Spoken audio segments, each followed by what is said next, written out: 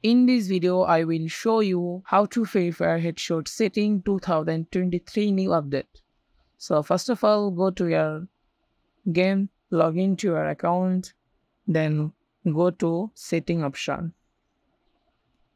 Then go to your sensitivity option, then then setting sensitivity option.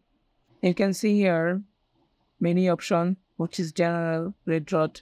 The general is 100 then red dot 85 then twist scope is 72 75 then four scope is 60 to 65 then sniper scope is 50 to 55 then free lock 55 so this setting is for specifically shooting from far away then if you want to close range perfect headshot in the game, then you can setting the sensitivity.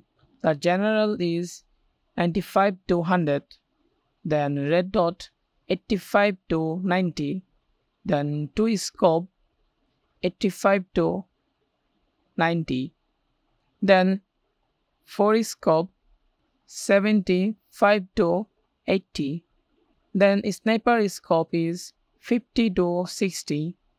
Then free lock. Then AWM scope 5 to 10. Then free lock 65. Then go to your control option and then you can see here many option quick open switch so open those option then go to your display option and uh, graphic turn on ultra mode then high resolution on high mode then shadow option is turned on then then high fps is turned high.